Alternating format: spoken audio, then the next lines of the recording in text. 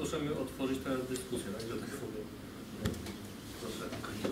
Dzień dobry, Grzegorz Śmierzła. Mm, Jakby nie postrzegać, jestem w Radzie Dzielnicy Kalinowszczyzna. E, I powiem szczerze, że to, co Pan Doktor przed chwilą powiedział, jest w tym dużo racji. Ponieważ niektórzy traktują to jako dobra, dobrą zabawę w postaci siedzenia sobie przy kawce. Ale z drugiej strony można też zaktywizować mieszkańców, czego przykładem nawet sam uczestniczyłem w takim spotkaniu, bo jest u nas nieszczęsny wąwóz tam przy ulicy Wołyńskiej, słynny. E, podjąłem się czegoś niemożliwego. Puściłem, e, z, e, udało się pięć projektów, które miały dotyczyć tego miejsca, przekształcić w jeden projekt, spotkać się z 35 mieszkańcami z różnych środowisk, nawet ze Stowarzyszeniem Kryminologicznym, bo chcieli wybieg dla psów. No i udało się wpisać wybieg dla psów do projektu.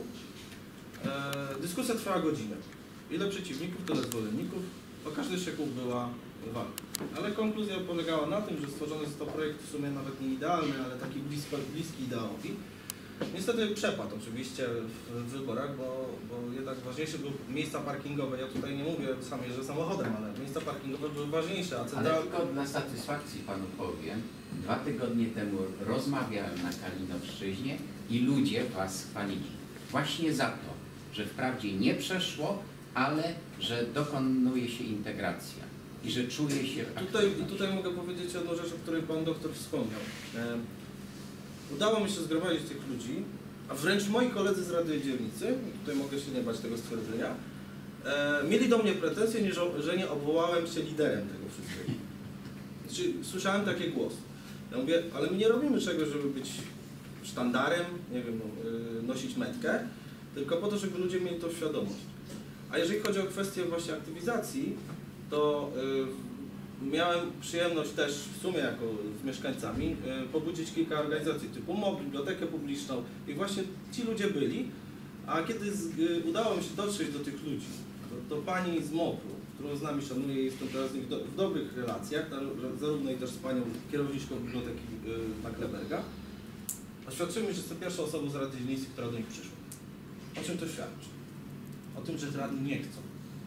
Zamknięci w kokonie, ja, mam, ja, ja z tym walczę, bo, bo, bo to, jest, to, jest, y, to jest taka próba walki. Powiedział tak, y, dobrze, że Pan to tak formułuje y, pozytywnie o MOPRze, bo być może moja wypowiedź wybrzmiała negatywnie, ale powiem tak, dla budowania tożsamości tego miasta jest potrzebne spotkanie dwóch stron.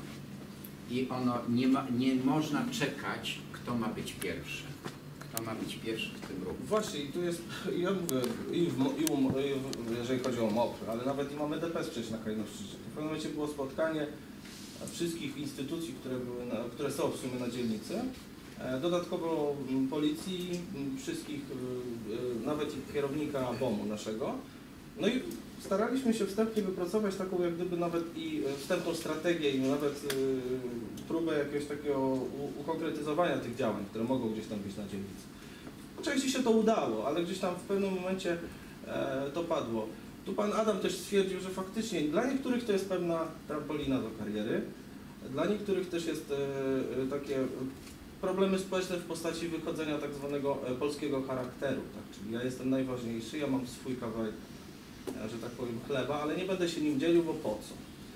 E, I ma parę konkluzji dotyczących nawet same, samych kształtów.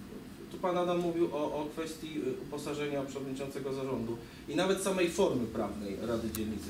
Ra, forma prawna Rady Dzielnicy może być formą, y, Pan doktor bardziej y, kwestie społeczne, ale ja mówię nawet o kwestiach prawnych, formą hybrydalną.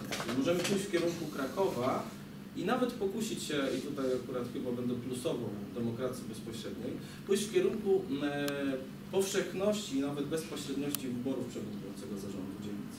A dlaczego? Dlatego, że robi się konkurencja i każdy kolejny kandydat nie zbierze 25 głosów, tylko musi zebrać 200 głosów, albo 150, przejść się po mieszkańcach, którzy go w końcu zobaczą i zaczną się zastanawiać, o, w końcu widzę kogoś, z kim mogę porozmawiać.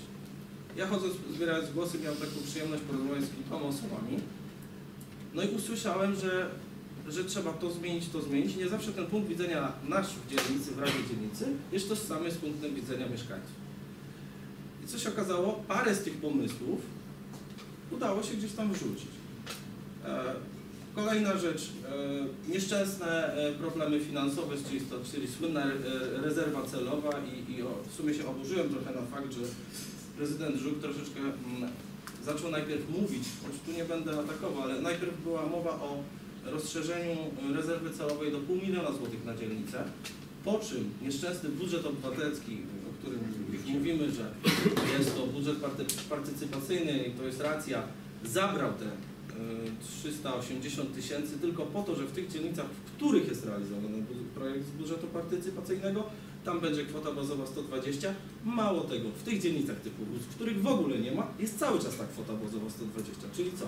Mówimy o kwestii dajmy wam więcej na działalność, ale za chwilę mówimy nie, damy wam tylko 120, bo u Was w dzielnicy w Łódzku, w którym mieszka niecałe, nie wiem, chyba 7 tysięcy czy 5 tysięcy mieszkańców, nawet może mniej, nie wiem, a, a poszła, poszła pula na Czuby, w którym jest więcej mieszkańców i czy, i to jest pytanie dzisiaj, ja chciałbym postawić takie pytanie, I to głównie dzięki aktywności spółdzielni mieszkań, to jest pierwsza rzecz, bo też jest to często... załatwiła swoje interesy. tak? To jest też często mylone, bo mieszkańcy mylą rady osiedla dzielnic y, spółdzielni mieszkaniowych, a rady dzielnicy. No, ale to jest ten problem tożsamości. Nie? To jest jedna rzecz, ale też druga rzecz jest też taka, czy my jako Rada Dzielnicy, nawet jako, jako mieszkańcy, czy my z budżetu partycypacyjnego mamy to, co jest zadaniem własnym gminy, nawet w ustawie o samorządzie gminnym, mamy e, doko, dokonywać wyboru przyłącza, skoro to jest ustawowe i, i nie, nie ma tutaj dyskusji na temat tego, że ta przyłącze ma powstać czy nie, to jest w ustawie o samorządzie gminnym, to jest zadanie własne samorządu. Tak samo jak y, półtora miliona dla schroniska, które jest zadaniem obligatoryjnym miasta i miasto je musi wykonywać. Ja zadałem pytanie pani przewodniczącej stowarzyszenia, które to prowadzi. Na, pan mi wytłumaczy, na co pani te pieniądze? Przecież obiekt pani dostała wyremontowany od miasta.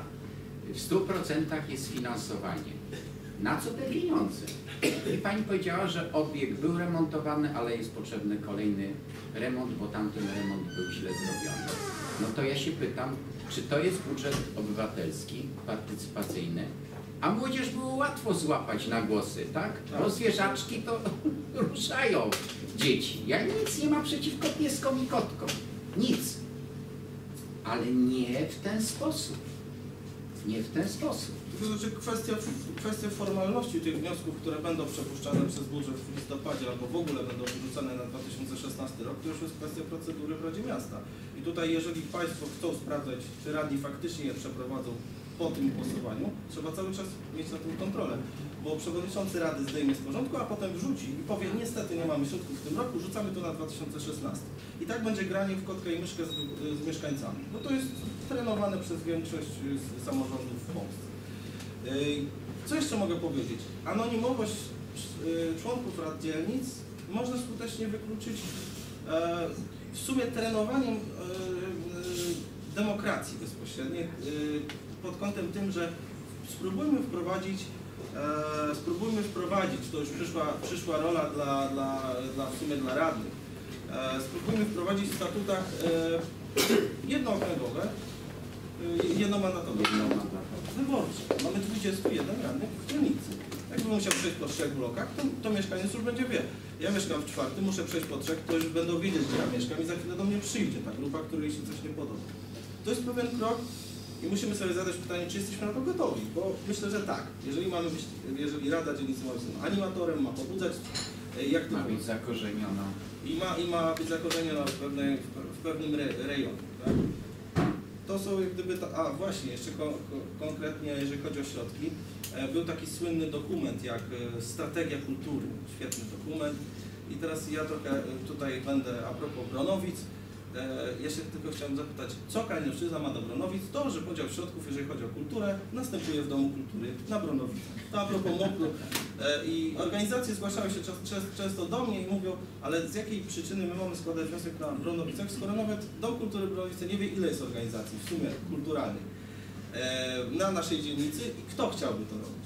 Często, i to jest to a propos MOPR, to jest a propos kultury.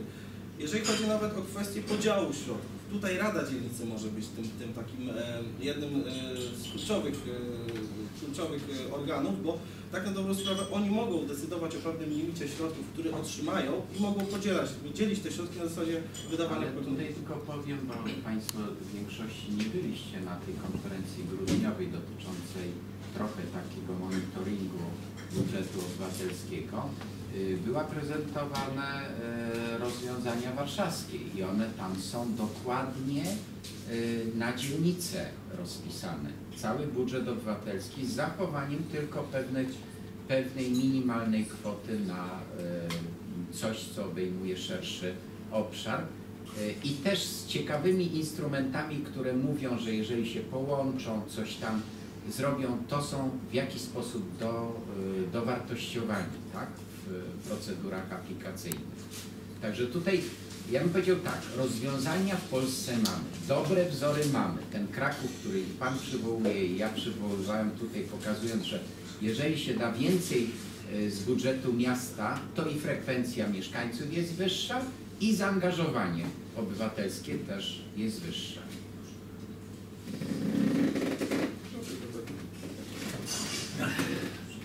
Drodzy Państwo, to może ja dwa słowa